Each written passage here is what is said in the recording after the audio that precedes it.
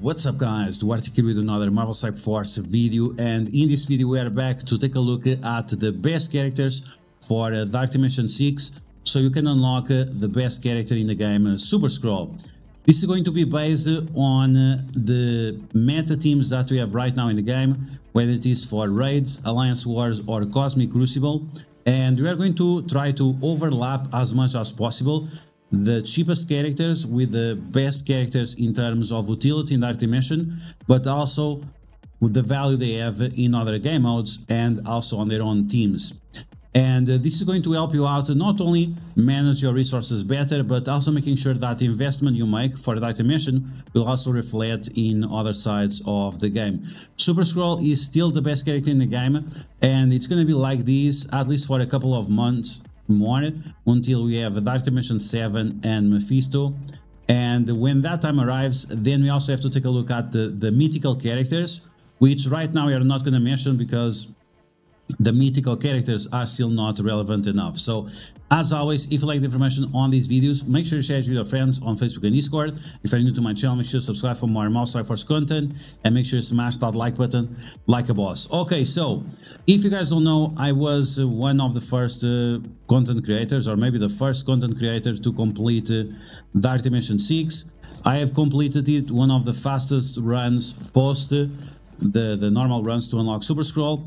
And also I did with the least amount of attempts without uh, using power cores or anything like that. So you can know for sure that the, the information you're gonna get is pretty legit. In terms of timed, we are at 600 with like six days, but I can do this in three days or two days. I have to use my Dark Dimension 6 runs in order to complete uh, the in order to test the different characters. Now, we are also going to take a look at the newest characters in the game, and we are briefly going to talk about uh, Carnage and Venom, and we're going to start by that.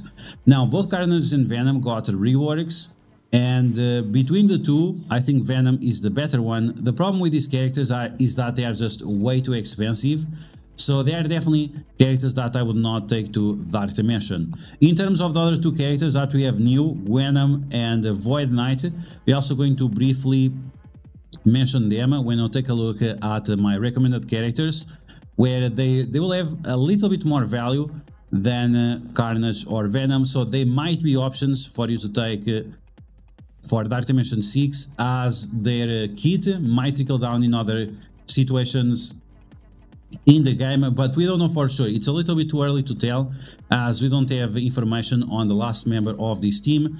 So a few things on their kit might change from now until then. Okay, so with this said, with these brief uh, thoughts on the newest characters, let's take a look at the characters that I actually recommend for Dark Dimension 6. And uh, as you can see, this is divided by types. So we have Bio, we have Mutant, we have Mystic, we have skill and we have tech. Of course, at the top, we have the best characters of each type and uh, also some of these characters are also the cheapest. Sometimes cheap does not mean better, but other times cheap definitely means better, so keep that in mind. Just because they are cheap does not, does not mean that they're not bringing you value. Okay, so the first uh, we're going to address all the bio characters. So we have Tigra. Tigra right now, she's the main character of the new Avengers, a very powerful Alliance Wars team, and a team that has been trickling down in terms of value in uh, Cosmic Crucible as well. She's very cheap, she does tons and tons of damage, she's a tank, so investing on this character is going to be good for you, and uh, that's why she's at the top, because not only she brings you the value, but it's also cheap. So it's definitely an option for Dark Dimension 6. After that, we have a Zombie Juggernaut, very powerful character in multiple game modes. Then we have Abomination, very powerful character, showed a lot of value now in the, the Escape from Kaaln Tower mode. And uh, we, we have here Abomination, but you can also mention Hulk. OG Hulk is still pretty decent and you can take him for uh, Dark Dimension 6. If you have him with Healerize Weight, he can be quite annoying and protect the other characters that uh, that will clear the nose for you. Now we have Moonstone. Moonstone, she has a lot of value in Cosmic Crucible, and her value sometimes also shows up uh, in uh, tower-like game modes. But we can also talk about Titania as she's also part of the same team. So you have to choose between one or another. If you want Moonstone or Titania, I prefer Moonstone over Titania, but I could see other people going other way. And then the last bio character I would recommend is Captain America. He's okay, but he's um, is uh, going losing value quite a lot with introduction of the Hive Mind team as the Rebirth team will no longer be part of the raid meta. You still have some value in Alliance Wars, you still have some value in Cosmic Crucible on specific situations, but those situations don't require a lot of gear, so keep that in mind. Okay, now in terms of the mutant characters, we have Nightcrawler, one of the best characters in the game in terms of plug and play value. We have Apocalypse, Apocalypse is not on the first place because for new players, the newest of the newest players, if you are trying to clear Dark Dimension 5 or 6 or 4, Apocalypse is not a character that you should be looking forward to.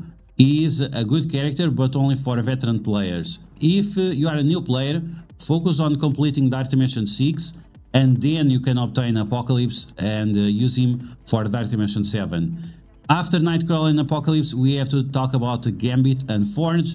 Those are two very powerful mutants that you should definitely consider because they have a lot of value in other game modes.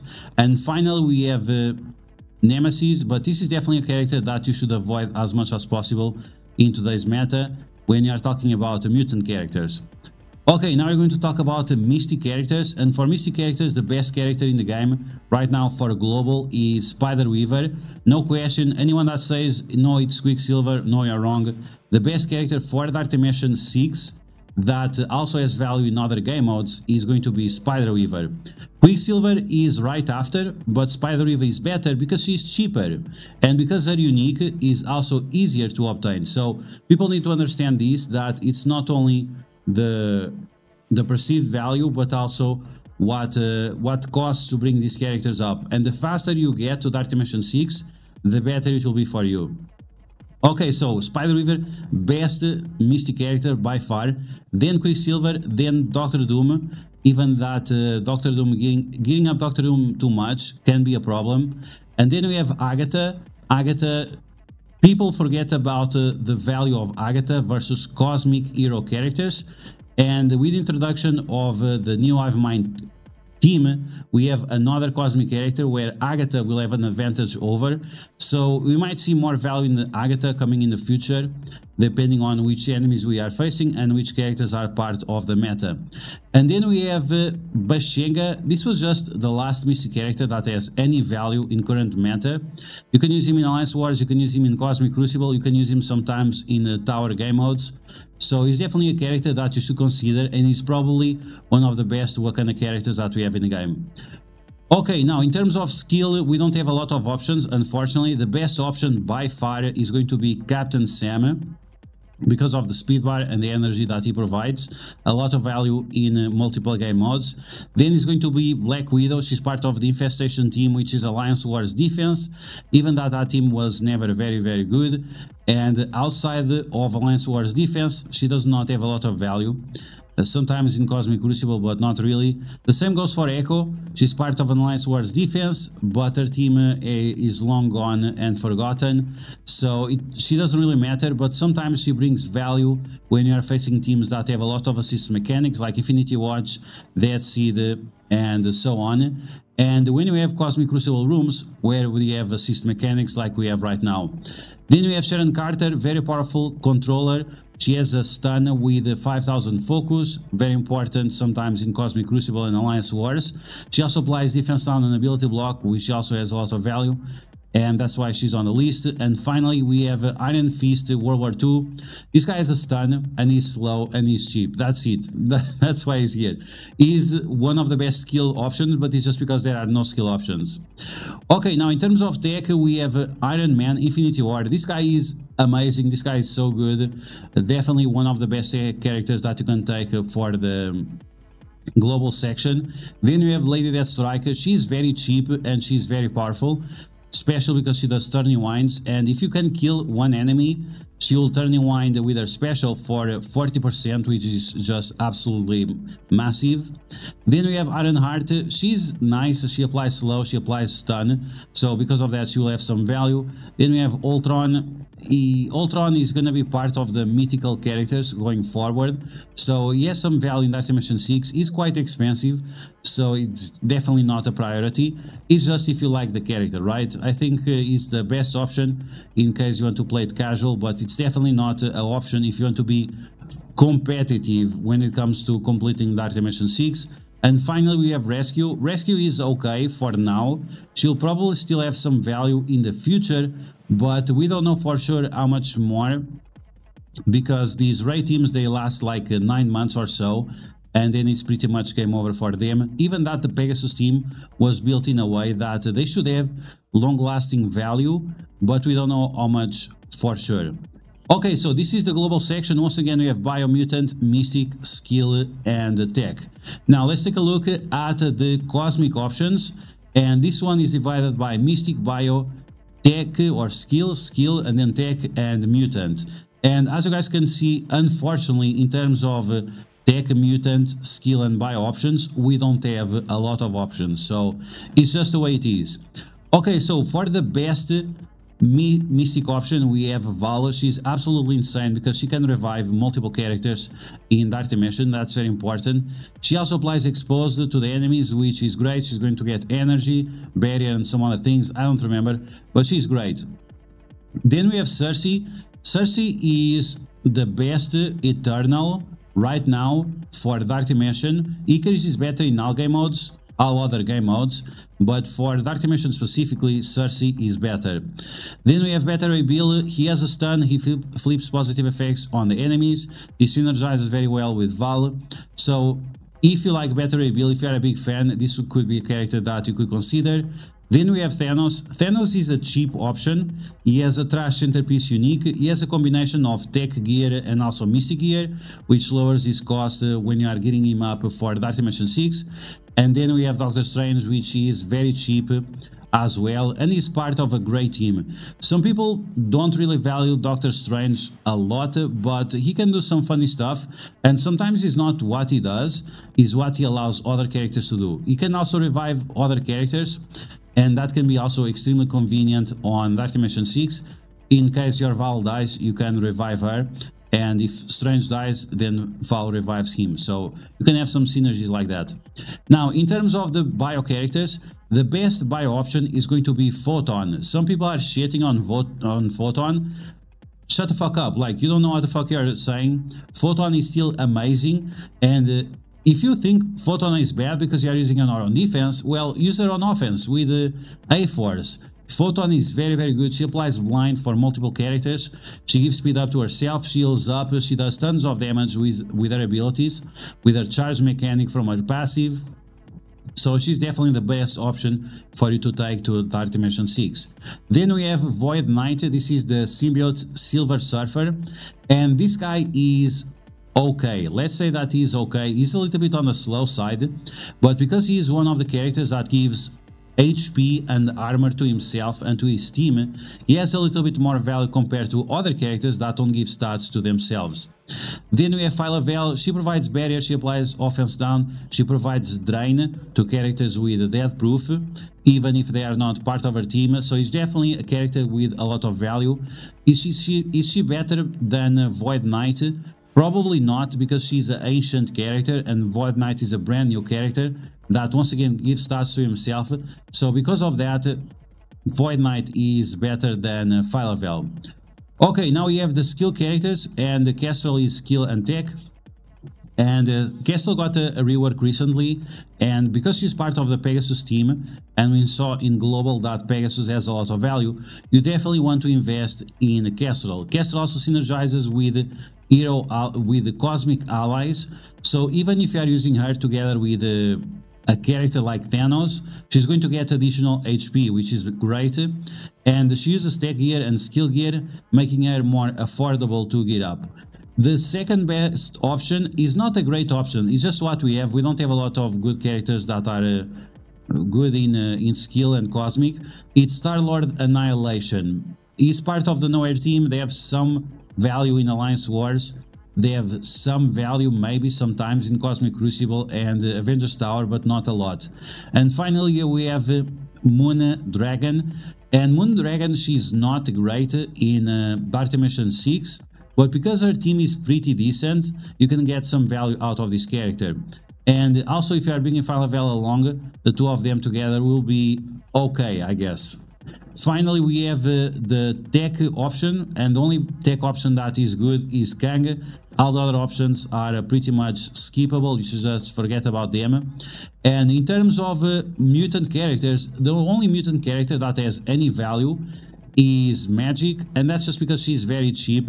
So if you don't want, if you don't want to spend uh, tech gear or bio gear or skill gear or whatever, you can bring Magik once again because she's just so cheap and sometimes she can slot in in uh, mutant teams but it's not like she's meta by any means. It's just because she's cheap and uh, she can uh, open possibilities for you to diversify your gear portfolio. Okay now let's move on to the city section. And we are back to having a lot of options. So the first option is going to be bio then we have mystic skill tech and mutant with the bio options, we have Lizard. Lizard right now is amazing. He's a tank. He attacks all enemies with, or he attacks multiple enemies with all of his abilities. He's very powerful. He gets speed bar when you're facing Spider-Verse characters, which many times they are cities, so it's very likely that he's going to go fast many times in that dimension, so he's going to be the best option. Sinister 6 and Superior 6, right now they are completely dominating Alliance Wars, Cosmic Crucible, and so on, Avengers Tower as well, so this is definitely something that you should have into consideration. The second character of the Biotap that I'm going to recommend is Gwenom. Yes, she's a new character, yes, she's not available in-game, but she has a turn 1 stun, her speed is okayish, she has some survivability mechanics like uh, evades, so this is a character that you should keep an eye open, uh, or a, uh, an eye on, as she can maybe provide some value. Maybe not right now, but in the future, I think uh, she will show up for sure. Because anytime we have characters with turn 1 stun, they're always relevant. Then we have uh, Spider-Man 2099, he's fast, he's furious, he's, he's going together with uh, Spider-Weaver. And uh, because of that, he's pretty decent. Now, his stats are a little bit lackluster, but if you pair him up with the right characters, he can be an okay option. Finally, we have Spider-Woman. Spider-Woman, she is okay. She just has very long cooldowns. She has okay stats as well, so she can also be an option if uh, you are a fan of her. Now, in terms of Mystic characters, we have uh, Robbie Reyes Ghost Rider. This is the best uh, Mystic character that you can bring to Dark Dimension 6. Then we have Cloak. Cloak is okay. It does not benefit a lot of Gear Tier 18, and uh, he also uses the same item as Robbie Reyes Ghost Rider, so you have to decide between one and the other, and of course that Robbie Reyes is a lot better than Cloak. Cloak uh, he is, is great, don't get me wrong, like Cloak is really great, it's just a problem that he does not scale with gear, he's a kit-based character. And because of that you don't see a lot of value out of him. Spider-Man Noir, this is an option that some people told me it was very very good and Spider-Man Spider Noir, unlike Cloak, he scales very well the gear so the more gear you put on Spider-Man Noir the better. The problem is that a lot of people don't know how to play with Spider-Man Noir and in which situations to use him. So because of that, he has some bad reputation, but he's definitely not a bad character. Finally, for the Mystic trait, we have uh, Mr. Negative, and uh, this guy is okay, let's say that. He has very long cooldowns, he has decent stats, I guess. He summons minions, and those minions can uh, serve as decoys. But the best thing about Mr. Negative is that he's very, very cheap. And that's pretty much it. Now, in terms of the skill characters, the best skill character that is right now is Kraven the Hunter, part of the Superior 6, part of the Sinister 6. He applies ability blocks, negative effects like bleeds, offense down, slows. This guy is super crazy, super good, definitely worth uh, your investment when it comes to the skill gear. The second best option is still Shang-Chi. The turn rewind that he does with a massive amount of damage unavoidable ultimates and being able to heal up himself by a lot and clearing negative effects from the enemies still provide a lot of value on Dark Dimension 6. He's also very cheap but unfortunately in terms of other game modes is not seeing as much play as I saw in the past. In Cosmic Crucible you can still use him sometimes, but in Alliance Wars is just a sleeper Heroes for Hire team, as this is a team that is, is still being used, but uh, it's not getting a lot of value compared to other teams. Then we have Ronin, and Ronin is okay, that's it, is an option, is quite expensive to get up because of his centerpiece unique and uh, his abilities don't provide a lot of value. It's just some bleeds, some uh, blind or something. It's not great. And finally we have Kingpin. Kingpin is very cheap. His minions are quite annoying for the enemies to deal with. So you can definitely get some value out of this guy. And it's still a decent option in Wars Cosmic Crucible on specific situations. Then we have the tech characters. We have Vulture. Vulture right now is one of the best characters in the game. He does turn rewind to the enemies. He does massive single target damage. He removes positive effects from the enemies while applying slow and offense down. So he's definitely quite powerful. And on top of that, he gets a bunch of speed bar whenever allies or enemies die, even if they are minions. So Vulture is quite great right now. Then we have a Spider-Man Big Time. Spider-Man Big Time, he has a massive amount of stats. His kit is not great, but because he has such a high stats, he can uh, get some decent value in, uh, in uh, Dark Dimension 6. The cooldowns are somewhat low for the special, which can also provide you some value, but it's just that, it's just a massive wall of stats and that's pretty much it. Then we have Spider Slayer. Spider Slayer is an okay character, he's part of the Sinister Six, Superior Six, and as you guys can see, we have multiple characters of that faction, and you can bring all of them to Dark Dimension 6. It's quite a fun team to play with. Spider Slayer, it does not provide a lot of value for other characters apart from defense up with his special, but uh, in other game modes, he can one-shot people with his ultimate and because of that, uh, this is definitely a character that uh, you're going to get value if you decide to invest in him. And finally, we have Mysterio. Mysterio is not great in Dark Dimension 6, but because we have so many Sinister 6 characters in this section, if you decide to get up Mysterio, is okay. I mean, if you're a fan of Mysterio, you can use him, but uh, you should definitely prioritize the other ones first. And finally, for the city section, we have the mutant characters. And the only mutant characters that have any value right now is Firestar and uh, Miss Marvel Light. And uh, both of them are part of great teams. Both of them have uh, somewhat individual value if you know how to use them. And because of that, you should definitely invest in them. Now, the character with the highest value is going to be Firestar if you are using it on offense. If you are using on defense or if you want to have a defensive character, then Light is going to be the best option, but I would still prioritize Firestar over Light. And finally, for the last section, we have the Legendary lane. And for this line, we have the non-Horseman section, and then we have the Horseman section. So the best Legendary characters is going to be Black Cat. She's the best Legendary right now, turn 1 stun with Trauma. That alone changes everything, but then she has a basic that applies turn rewind and slow to the enemies by 5%, and if you ever has a striker, this is going to be 10%. With a slow, that means that the turn rewind will uh, get 50% more value, and because of that she's quite impactful in uh, this type of game modes like Dark Dimension, but she has value in all game modes in game right now.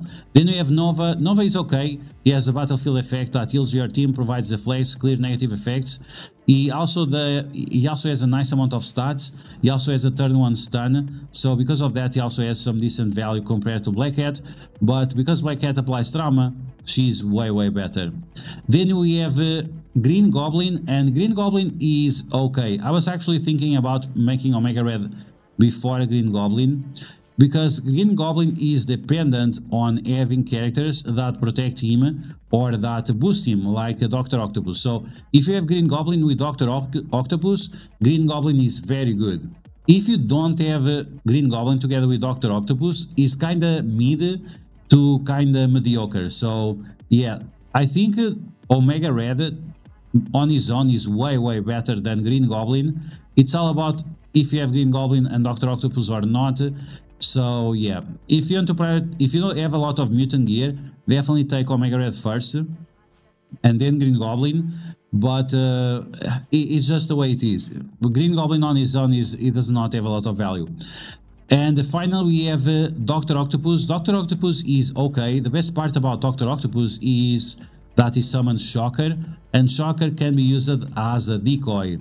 Now, if you have Green Goblin and Dr. Octopus, then Shocker can turn rewind the enemies, and because of that, that Shocker that you summon will provide to you a lot of value.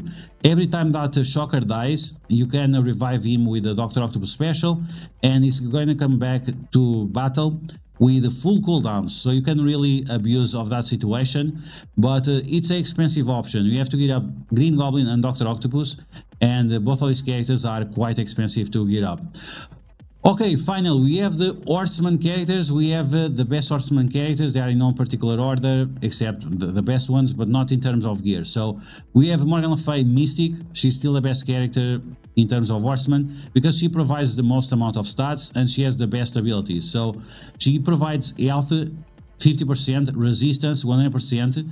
She applies trauma to the enemy, especially if they are controllers. She does speed bar manipulation. Like anyone that says that Morgan Fay is not the best horseman, they are wrong. Then we have Red Hulk. His bio. It also provides some turn rewind. He's quite fast early on, but his cooldowns and the value of his abilities drop down in value quite fast, especially because the ultimate uh, of this guy has a very long cooldown. So you're going to be spamming basic and specials pretty much most of the time. Then we have Rogue with her ability block on the special. She also applies defense down, trauma, disrupt, and a bunch of other things. So you can get a lot of value out of her as long as you keep saving her cooldowns or as long as you have someone that is providing energy to her. If this is not the case, then she's also me, the uh, horseman character that you can bring along that is going to be spamming basics most of the time. And then we have Archangel. Archangel, unless you have Archangel with uh, 700 stars and with diamonds, he is very, very mediocre. He does not have a lot of HP. He does not have a lot of stats. He relies too much on being together with Magneto, Morgan Le and Apocalypse. And if that's not the case, he's very, very bad. Okay guys, so th that's the definitive recommendation for the best characters for Dark Dimension 6 right now. I made sure that I gave you a lot of options so you can decide which ones you like the most, which ones you have diamonds on, or red stars on, or anything like that, or the characters that are your farmable, or just the teams that you like in general. All of these characters that I mentioned, they are pretty good and they have value in multiple game modes. So they are mostly safe investments, but of course you should definitely focus on the characters that are at the top. So that's going to be the recommendations for Dark Dimension 6 for now and we'll see in the future when we'll get the next patch or uh, when we have more information about the Dark Dimension 7 but for now this is definitely what you should follow in case you want to unlock Super Skrull as fast as possible and also have uh, the, the most double up and value for other game modes. So I hope you guys enjoyed this video. If you did, make sure you smash that like button and if you found information helpful, Make sure you share this video with your friends on Facebook and Discord. If you're new to my channel, make sure to subscribe for more Mouse Force content, and I'll catch you guys later.